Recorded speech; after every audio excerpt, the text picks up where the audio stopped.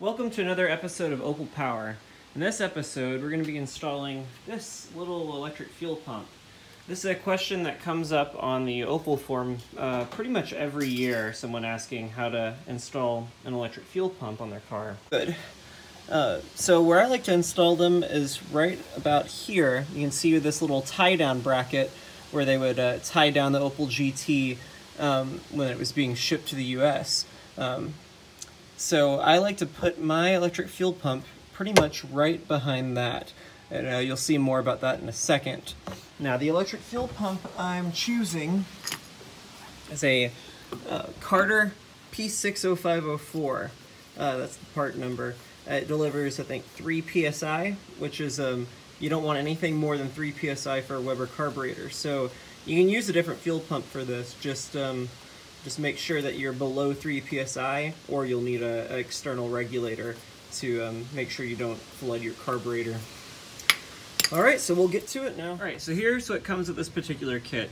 You get the uh, hold down bracket with some rubber coating for anti-vibration. Uh, you get one connector. I don't under, well, no, actually you get two, never mind. So you get two uh, bayonet connectors, uh, two clamps, a ring connector. That'll be for the ground. You get a washer and you get one bolt. I think uh, I think mine's missing another bolt. You can see this one has a um, a groove in it, and this uh, makes it self-tapping. So as long as you drill the hole pretty much the right size, this thing will cut the rest of its way through.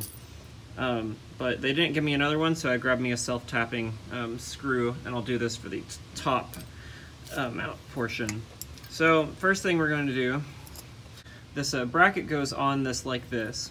So I have some little Kevlar um, hose wrap right there, and then uh, use some really large heat shrink on the ends to kind of hold it on. It doesn't look great, but it will help with some vibration um, and sound problems. So what I'm going to do now is try and get an area where I like where it fits. So I'm just kind of maneuvering the pump around a little bit with the bracket and I want to find a spot where I can mount both, um, both screws and also have the pump very tightly mounted. So I'm going to mark my top bolt because it's going to be the hardest one to drill and I'm going to do it first and get it bolted in. And then, so let me get me a pin. So there's the self-tapping and I'm going to get my drill and try and thread it in all the way up here. So I've got the first self-tapping screw um, started in there. I'm not going to tighten it all the way yet. And you can see this bracket has a little slot to it so you can adjust up and down a, a little bit of amount there. And we're going to need that later. So now I'm going to put the pump back in there. Remember, this side faces out. Oh, and actually we can see the plus and minus sign on here now. So we're gonna mount it this way because I want my plus sign to be on the inside so I can route it kind of along the fuel line type thing. And the negative I want to go up to the frame really closely. But that doesn't really matter that much, just be sure you know which one is which when you put your pump in. You don't want to wire it backwards and pump fuel into your tank, if that's how that, that would work. All right, so it's mounted. You can see it's, I didn't get it, the, the strap perfectly even, which is annoying me, but that's okay. But uh, you can see where I put the giant heat shrink here. Uh, this is plumb, like plumbing heat shrink. And then over the, my little Kevlar cover that I put on it. It'll just help a little bit with noise, because see, there's nothing, no metal touching metal on here whatsoever. It's, um, everything's isolated with rubber. You can see we have our fuel filter here and we're going to have to, I mean, it's really hard to show this under here, and we're going to have to connect it to the uh, factory metal line right here. So I'll probably cut this right here, and then put a little, little rubber add-on here. And then I left enough slack whenever I um, replaced my uh, plastic fuel line to where I should be able to just route it over to here with a without any extra line. It'd be good to go. All right, so I'm gonna try and cut this metal brake line now, and then if I do manage to cut through it all the way, it's going to spew fuel everywhere. So I'm going to try and um, and get the uh, hose on it as quickly as possible. So we'll see. We'll see how this goes. So let me make sure that I, my hose is long enough for where I'm cutting, and it is. So let's let's continue cutting. Just using a little mini tubing cutter.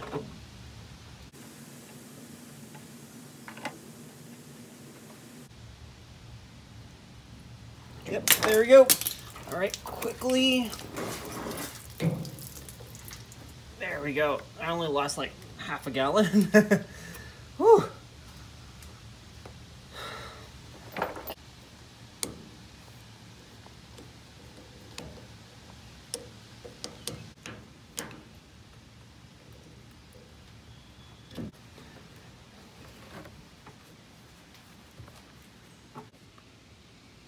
So, we got the hose on. No obvious leaks. Course, we'll recheck everything in a minute. There's that hose. I'll need to get a little bracket over here to secure that closer to the body because that ain't gonna do. Other than that, the fuel wiring is all done except for we have to delete the old fuel pump now. All right, so we're under the car. You can see my fuel pump is leaking like a sieve, the, uh, the old mechanical one. And that's the reason I'm putting an electric pump in here. Well, not the only reason, but the main reason. So, there's uh, two 13 millimeter bolts on this that are, I think the upper one's quite tough to get to if I remember. It's been a long time since I've dealt with one of these fuel pumps. Now, when you take this off, uh, there will probably be some oil that comes out. That's normal, but it's not going to, it shouldn't pour out if I'm remembering right, but I guess we'll find out here in a second.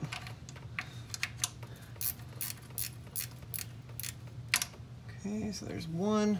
Let's see if we can get this upper one somehow. Yeah, there we go.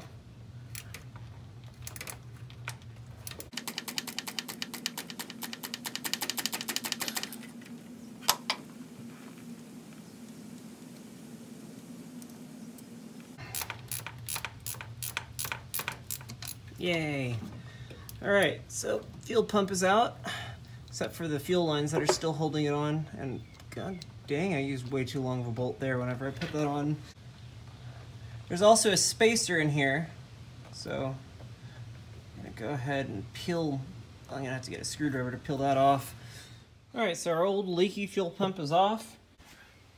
And I already got the spacer off the fuel pump uh, to timing cover area. So now we need to get our block off plate.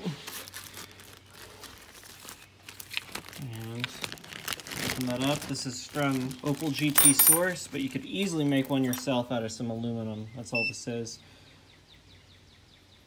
And to make me a quick and dirty little block off plate, uh, Opel GT Source accidentally sent me a spacer instead of the plate I was needing.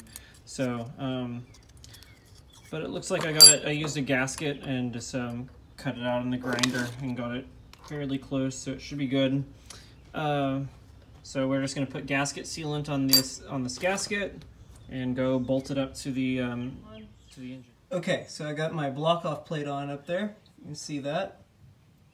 So that's good to go. Uh, so we'll just have to check it for leaks after we get the car turned on. So now we're going to move on to wiring. There's several different ways to wire this the car I'm doing today uh, has a universal wiring harness in it that I installed. This one's just an 8 circuit little universal wiring kit. Uh, so when I when I put this in, I left me a bunch of extra yellow wire back here. And that yellow wire is some marked electric fuel pump. So that's what I'm going to be using to wire the positive for my electric fuel pump. Um, but with a stock GT, so if you can see this, this isn't my fuel pump, but if you can see this orange wire here, it's the third um, bank from the left. That there is a great place to put your electric fuel pump. Um, I think mine is wired to the other side of it. Let's see. yeah, see that big red wire? That's my electric fuel pump wire going out to the, um, through the firewall there and into the engine bay on this car. Okay, I've got my power wire run. Um, like I said a minute ago, you're gonna basically do this whatever makes you feel the most comfortable. On my red car, the, uh, you can't really, well, yeah, you can see it. The uh, positive that goes to my fuel pump, you can see it going down right there. So it comes out of my um, firewall, goes all the way under the car, under the transmission, through the transmission tunnel, and all the way back to here. You can see it back there. Same place I mounted it on the orange car.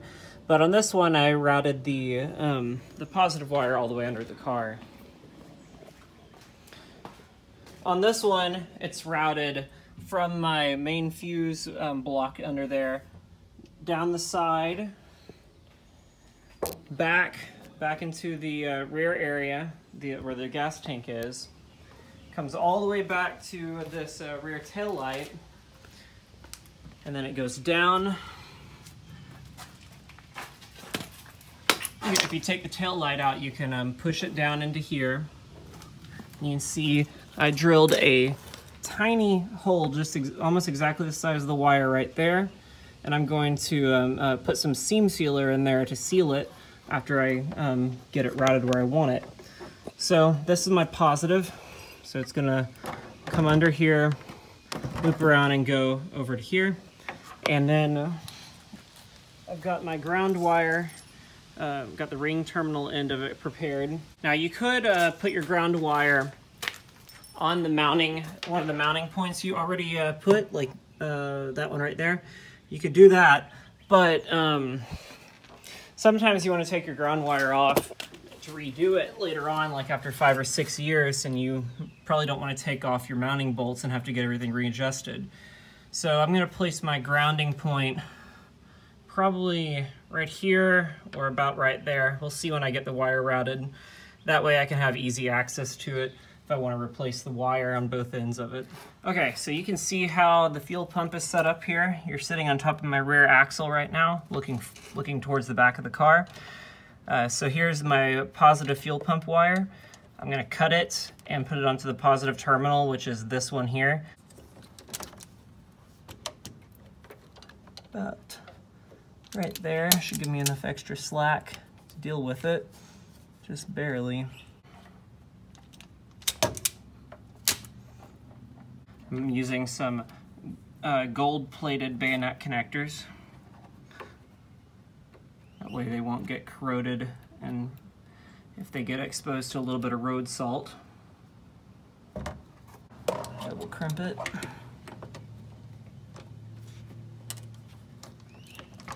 Okay, nice and tight.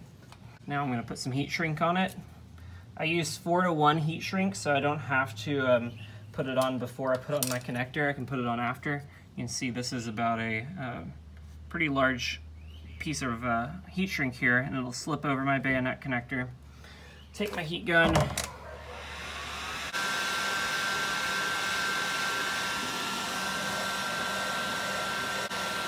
and it shrinks down no problem. See that? Uh, that was way over a quarter of an inch and it's it slimmed down to below an eighth of an inch. Okay, so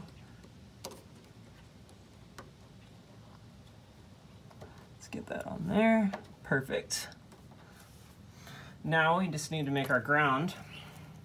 Okay, so here's my self-tapping screw. I'm going to thread it in right about here, where I can hide most of it behind uh, that little tie down thing. So let's take the self-tapping screw.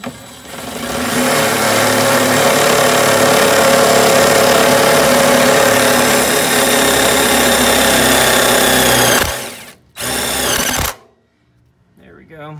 And notice I use brown for all my ground wires because that's what Opel did. Every single one of the grounds on the car is brown that I know of. And so I always do that too so that whenever I'm inspecting things I can say, oh, that's a ground wire. And um, not have to second guess my own wiring. Okay, so I'm gonna cut that here.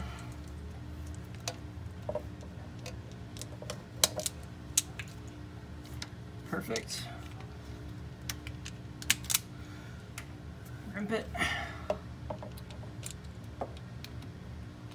Heat shrink.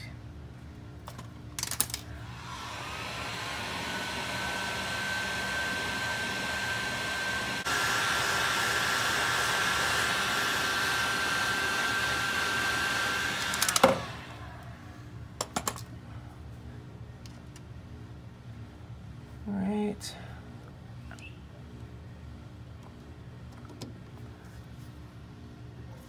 Nice. Let's go test the, the pump.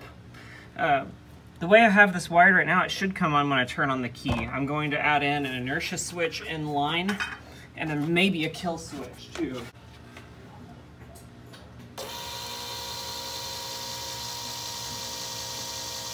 So it works.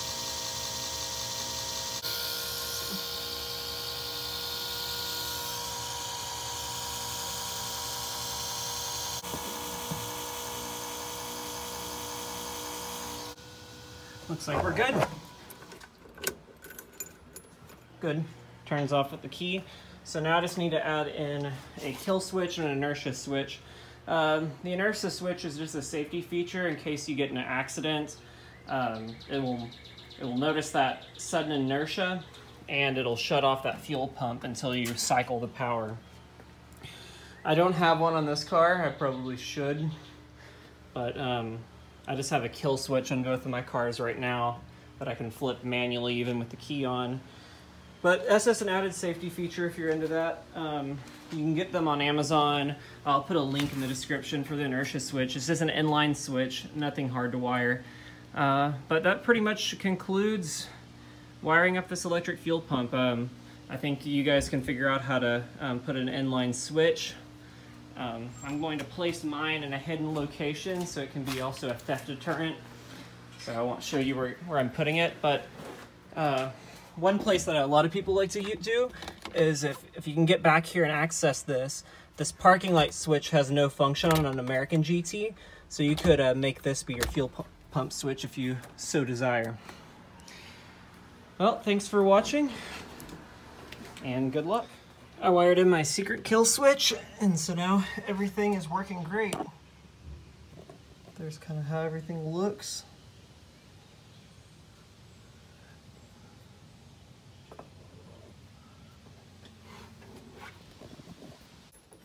So my switch is off right now, so the pump doesn't come on. Now my secret switch is on, so the pump is on.